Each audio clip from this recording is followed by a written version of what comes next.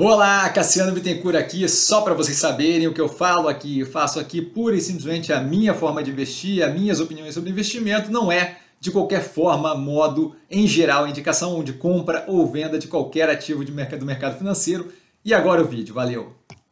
Olá, Cassiano Bittencourt pelo Movimentos da Semana, hoje para comentar como sempre aqui né, os movimentos que foram feitos e os ativos com maior desconto versus é, a sexta-feira, tá? com base no preço da sexta-feira, na verdade. A gente teve aí aumento em posições com melhoria de preço novamente essa semana e ainda tem gás para ir mais nessa direção. A gente teve aumento da Ocean Pact em 50% no preço ali de 2,26, o que significa ter triplicado a posição em duas semanas. Né? Primeiro eu dobrei, agora aumentei mais 50% desse novo total, seria basicamente triplicar a posição é, inicial em, em, duas semanas. Tá? Eu vou continuar aumentando, se o preço continuar caindo, zero preocupado com a operação. O Banco Pan também com a operação com o tamanho da posição triplicada no 7,07. Eu risquei ali porque eu tinha dado a ordem no 7,09, acabou pegando menos.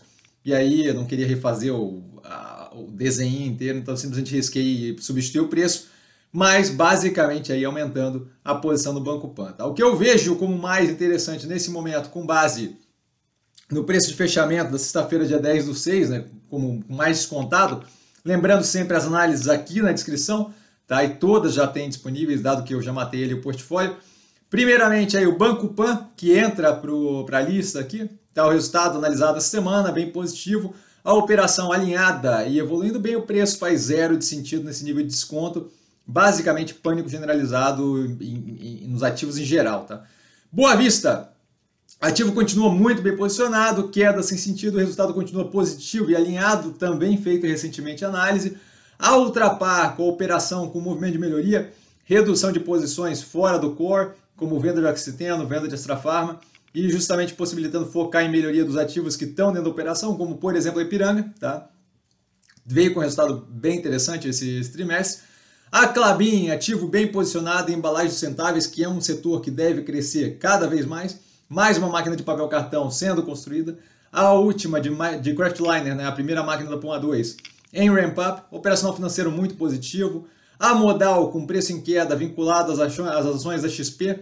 O ativo extremamente alinhado, especialmente com a operação da XP como nova controladora. Vale lembrar que a gente não teve uma definição da substituição efetiva das ações, então é possível que a gente ainda tenha a possibilidade de continuar com MODL3 para o futuro sem ter que fazer parte efetivamente como comprados na XP. De qualquer forma, não é, não é propriamente negativo, só seria mais positivo dessa forma.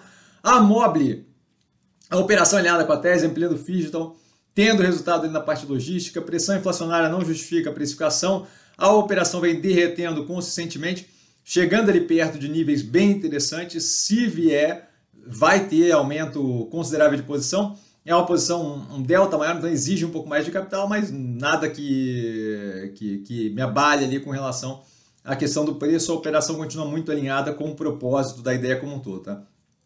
Guararapes, extremamente descontada, descasada da evolução da operação, especialmente ali com investimento em tecnologia, na parte de criação ali do Omnicanal. Tá? O Burger King também Tese muito bem alinhada para retomada, conseguindo manter custo da mercadoria vendida baixo e continuando numa, num direcionamento positivo com a recuperação da economia presencial. A Mega, Ômega Energia, completamente sem qualquer racional, a queda nos preços, tá? É, tese alinhada com a evolução do setor energético, vínculo com energia renovável, especialmente eólica, muito positivo, desconto no preço sem qualquer justificativa, assim como o Ocean Pact, como eu disse, deve continuar tendo aumento de posição se continuar caindo o preço, sem qualquer racional para queda forte do preço, especialmente se eu considerar o nível do preço do barril de petróleo, é, dolarização ali, o dólar em geral, se sobe, melhora o, o, resultado operacional da empresa, se cai, reduz pressão inflacionária e por conseguinte reduz pressão na, nos juros. Então assim, a operação está muito bem posicionada, teve fortes investimentos e que deve operar, devem responder muito positivamente no operacional financeiro. Tá? O resultado do trimestre foi positivo. A gente deve ter um segundo trimestre um delta mais pressionado por causa da menor taxa de utilização, mas nada que afete a tese de investimento médio e longo prazo da operação. Multilaser também muito descontada, operação muito alinhada, as expansões de produtos no portfólio bem positiva, tá? justamente diversificando ali a posição. Log, operação vinculada à entrega do last mile, a e-commerce, tá? e justamente a capacidade de viabilizar a logística para outras operações, o preço descasado completamente do potencial. Neogrid, mais um aí sem qualquer justificativa para derretida, tese alinhada com foco na caída de suprimento, não vejo qualquer sentido nesse tipo de movimento, é outra que teve a posição triplicada na semana passada. Fleuria, tese extremamente alinhada, o preço está chegando muito próximo de lugares ali que eu, que eu tenho bastante interesse. Não vejo qualquer racional para o derretimento, especialmente com os acordos mais recentes com Beneficência Portuguesa, um pouco mais atrás ali com Albert Einstein, sempre expandindo a operação. Tá? A Melnick, entrando em construção civil. Preços extremamente descontados, resultado veio positivo e a operação está alinhada, assim como Cirela, que não tem qualquer justificativa para essa queda agressiva no preço, volta a reforçar é, leitura equivocada do mercado e MRV é, passando aí pelo mesmo processo com a expansão ali possível da HS lá fora com a adição de um sócio. Via é outro ativo que eu vejo com grande potencial aí para aumento de posição, dado o derretimento descasado da realidade, tranquilo com o andamento da operação, especialmente com os motores de crescimento.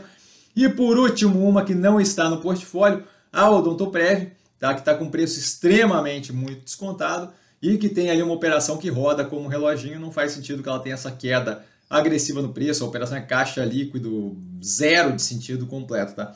Dúvida? Eu tô sempre no Instagram, arroba vestir com sim. Só ir lá falar comigo, eu não trago a pessoa amada, mas sempre lá tirando dúvida. Lembrando, como sempre, as análises aqui embaixo para quem quiser explorar ali, tá? E vale lembrar que quem aprende a ver essa bolsa opera com mero detalhe. Um beijo a todo mundo e até a live de segunda-feira, às 8 da noite amanhã, na segunda, até às 10 da noite. Valeu, galera, beijão!